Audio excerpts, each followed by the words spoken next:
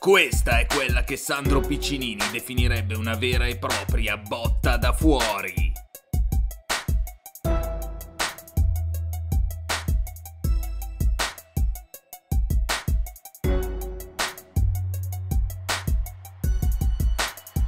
Doppio passo piazzato e dedica a Giulia. Tutto molto bello.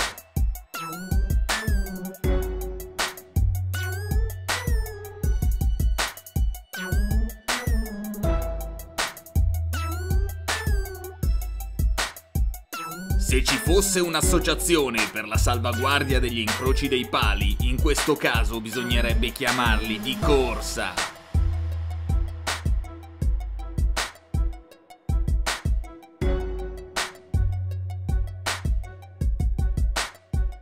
Gol da centrocampo, merito dell'attaccante o demerito del portiere? Anche in questa giornata ne abbiamo ben due.